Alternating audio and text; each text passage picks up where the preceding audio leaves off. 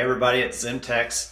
As always, glad to have you here. In this video, I'm going to be making an alpine newt, which should be pretty interesting. I think it's a pretty cool animal. It's got lots of different colors. But before I get into that, I wanted to thank everybody for all of the positive comments and feedback that I've been getting. I'm really thankful to have such great subscribers and a great audience. You guys are really awesome, and obviously without you, there's not a channel, so thank you for being here. Now let's get straight into the video and make a alpine newt.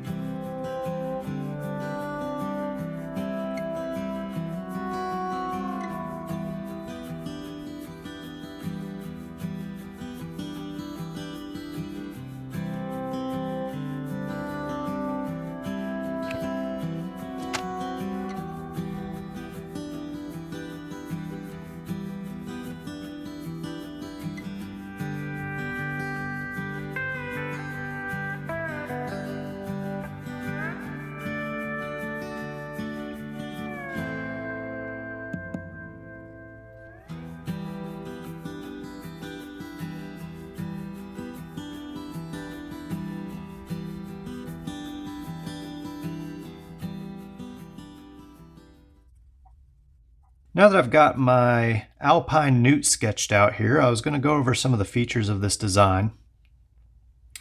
And first of all, uh, let's talk about what situations I would be using this lure in. Um, I'm anticipating using this type of lure in an alpine lake, which is very, very calm water, uh, where I would pitch it into an area that I suspected had some trout in it. And I would let it kind of float to the surface a little bit and then I would just give it little twitches so that it, you know, was a little bit more lifelike. I've put a joint here on the tail section. Uh, I'm going to put a lot of joints here in the legs. Um, this is not the kind of lure that I would cast out there and reel it back and cast out there and reel it back. From what I can tell, newts don't seem to do a whole lot of swimming around. So obviously this is kind of a specialty lure. The joint connections I plan on using for this lure are a little bit different than I've done before.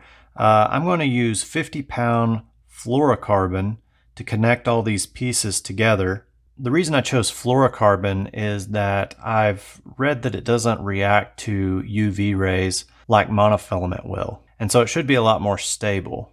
It'll also give me the flexibility I'm looking for so that subtle twitches will make those limbs all move. In any case, I'm going to have a single hook point here in the belly, right in the midsection, and then I'm also going to have my line tie under the chin here at the head. But I definitely want to weight this where it's pretty heavy, but it has a really, really slow float. And I think that'll give it the most realistic presentation.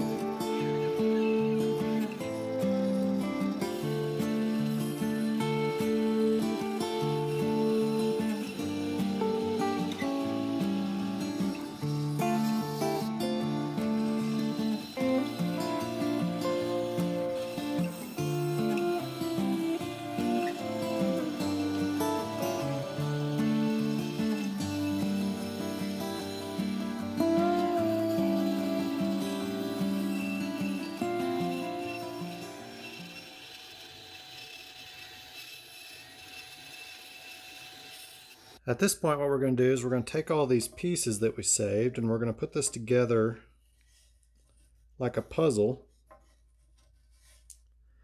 and I'm going to hot glue those back into place temporarily to give me a flat side where I can then cut the side profile.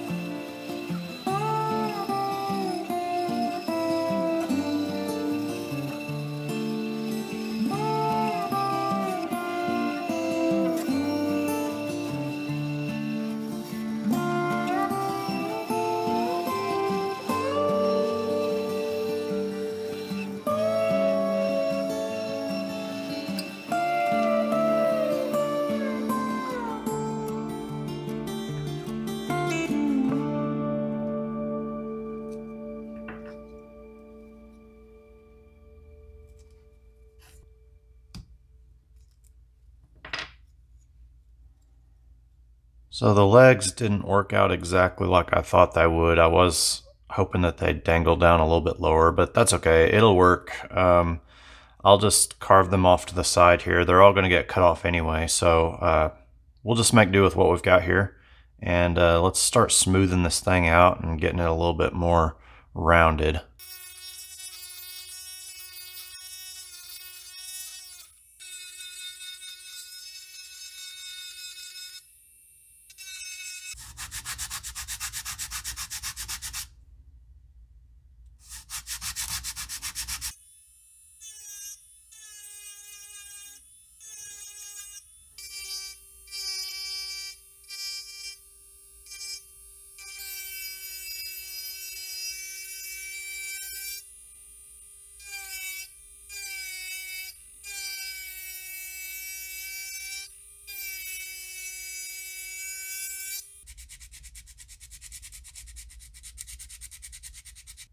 I'm feeling pretty good about the tail.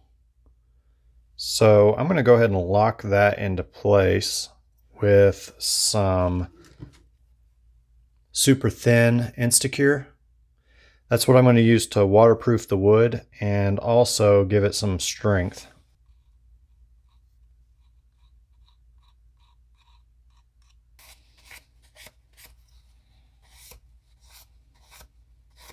So I'll just keep doing this section by section until I get the thing completely carved and sealed.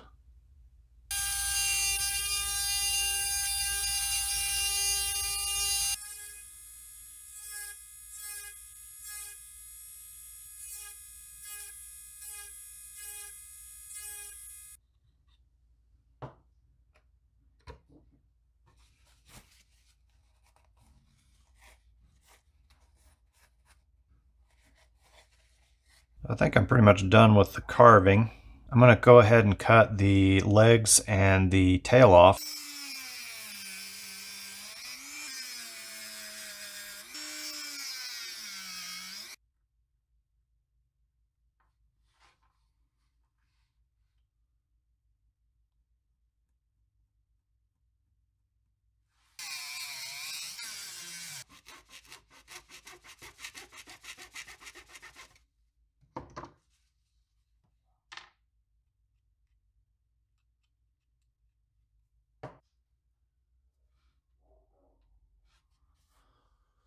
This is the thinnest stainless steel wire I've got, 0.032 inches. So I'm gonna grab one of these tiny drill bits, whichever one is the closest. Let's do that one, and it is just ever so slightly bigger.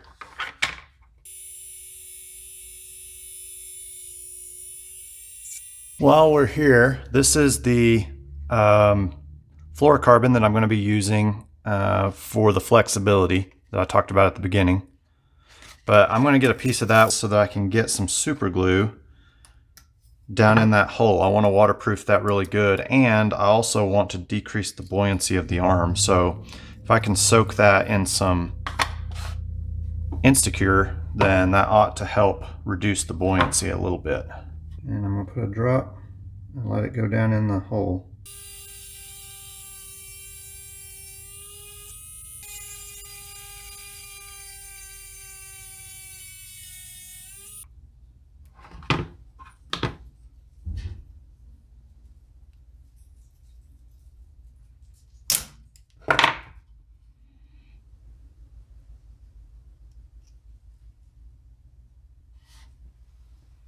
So that hot glue and wire will provide a temporary hold for me um, so that I can ballast this and paint it and then I can still take it apart for final assembly later on.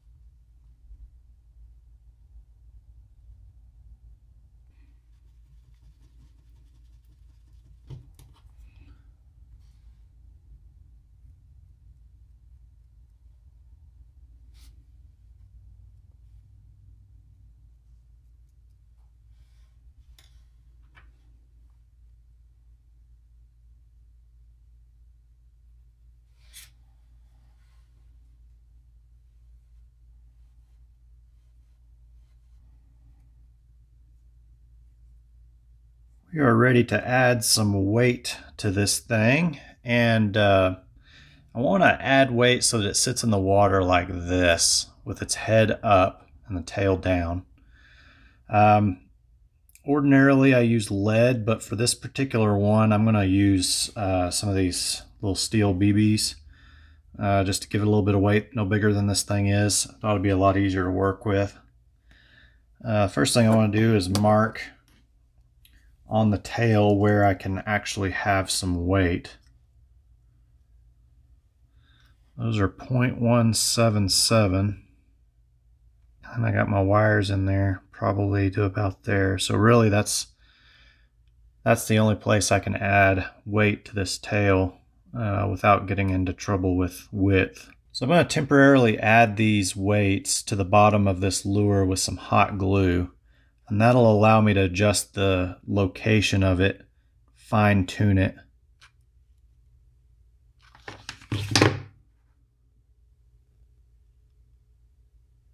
Actually going to start out with just two of these things. I think that might be enough. But we'll we'll just give it a try here and see. Now I'd prefer to use a single hook, but I don't have any the right size. So I'm going to put a treble on here just for now until I can get the right hooks in. But this will help me uh, get a more accurate balance on there.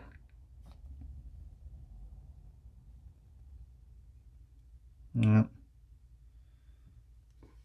Yep, too much. I'm going to remove this front weight right here. Maybe it's enough to have just a little bit of weight in the tail and then the hook provide the rest of the weight. So let's let's give that a look.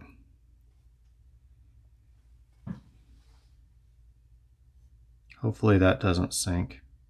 It's not sitting quite like I want it to though.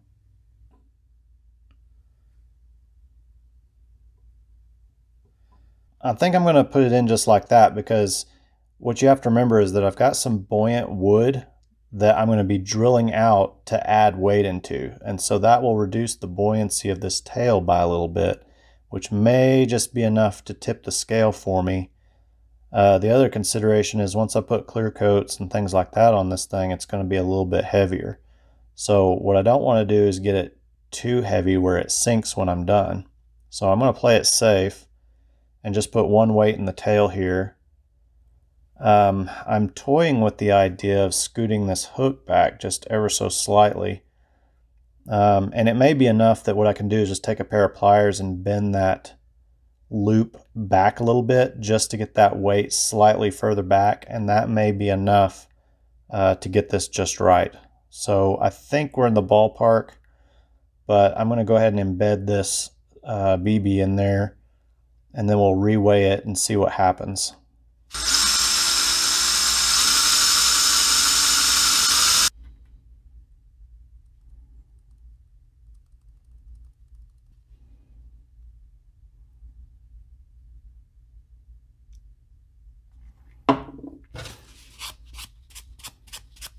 So I've got that BB embedded and sanded and all that good stuff. And once I paint over it, you won't even see it.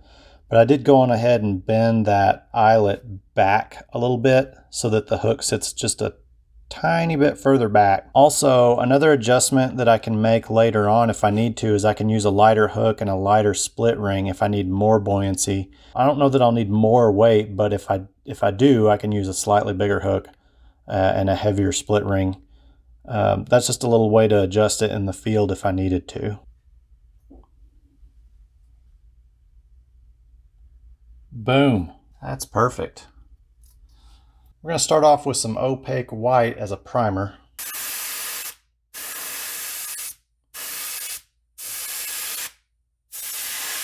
Okay, this is a custom color I made. It's kind of a light tan color. And I mixed it with 20 parts opaque white, one part detail raw umber, one part opaque yellow, and seven parts transparent light brown.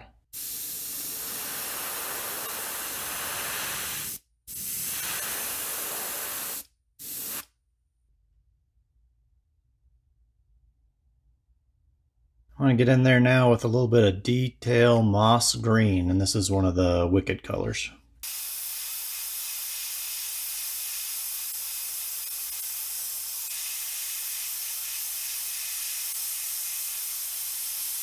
Next, we're going to use a little bit of this wicked fluorescent sunburst on the belly.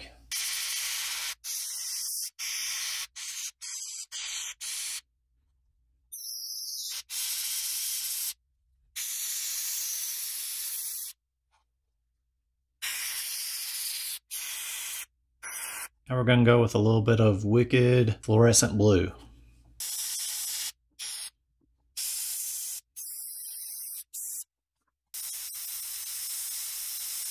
And now a little bit of Wicked Laguna Blue.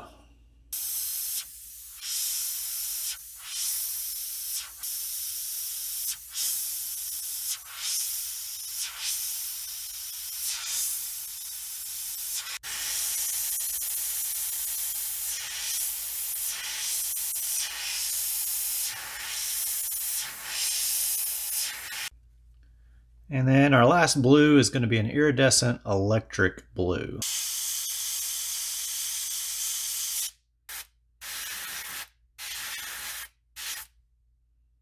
Now it's time for some brush work. Um, this ridge along the spine should be that kind of tan color, so I'm just going to brush that back on there pretty thick.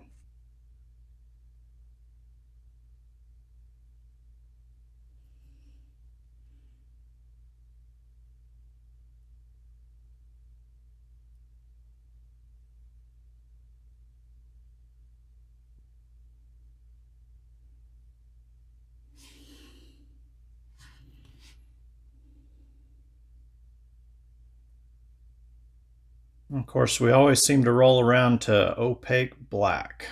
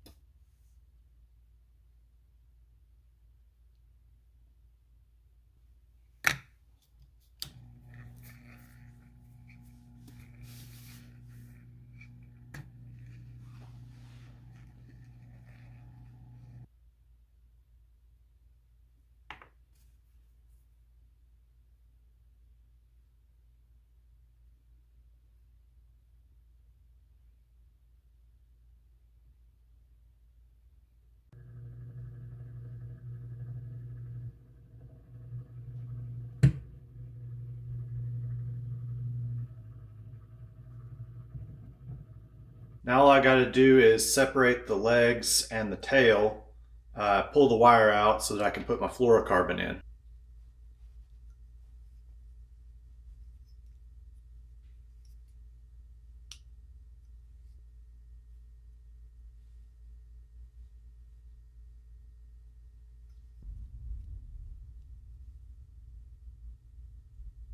I may have to backpedal on the whole 50 pound fluorocarbon thing.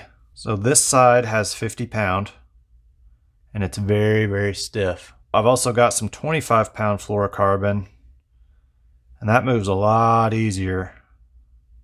So I think I'm going to switch all these to the 25 pound because I'm worried that if I stick with the 50 pound, I won't get any movement out of this. I'm going to use this extra thick glue to glue the line in place. And um, at my local hobby store, I also got these little micro tips that you can put on there like so. And what that should allow me to do is apply that glue directly into the hole.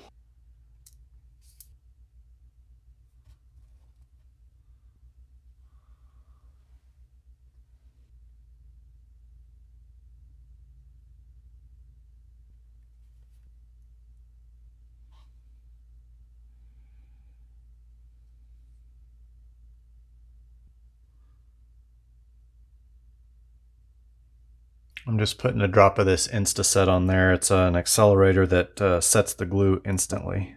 I'm not going to put a lot of pressure on that just now. The accelerator may have uh, set right at the joint, but I want to give the inside plenty of time to set up really well before I start messing with this too much. So I'm probably going to let this set for a little bit and then I'll put the hook on it and we'll throw it back in the tank and see what it looks like. So when I put this in the water and I was looking at it, um, I wasn't very happy with the movement. As you can see, even though I went to a 25 pound uh, fluorocarbon, it's still pretty stiff.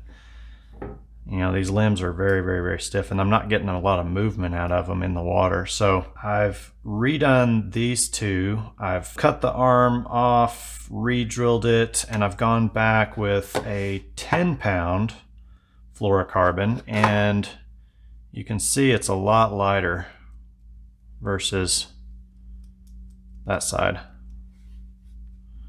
Now whether or not it's going to be light enough, I'm not positive, but um, I'm leery of going too much lighter um, because then I run the risk of these just breaking and, and losing them. Okay, I've got it all reassembled here. Let's see what we got. You can see that tail's a lot more sensitive. Those move a lot easier. I'm happy with that. And like I said, in the original design, it's mostly just supposed to suspend in the water like that. And maybe I'll give it some little twitches and get a little bit of movement out of the, the legs and the tail, but it's mostly just going to suspend kind of in the water there. So that should work out pretty nice for what I'm wanting it to do. All right, we could take a look at what this looks like in the water. So it sits nicely still. To be perfectly honest, I did a little bit of experimenting with twitching it in the water and I wasn't getting a whole lot of movement out of the arms and legs. So that didn't really work out exactly like I wanted. But at least I still have durability because if I were to carve these arms and legs without a joint there, they'd break off for sure. So I guess in retrospect, I would have left the 25 pound line in there. But I am looking forward to taking this fishing up in the mountains next spring. I get a lot of questions about the products and materials that I use, so I've got those linked in the description below, along with other cool stuff like Zimmtex merchandise and things like that. If you like the content I'm putting out, please consider subscribing if you haven't already, and give me a thumbs up so I can make more of the stuff you want to see. Also, feel free to leave a comment. I welcome your feedback and appreciate all of your support. Thanks for watching everyone. I'll see you on the next one.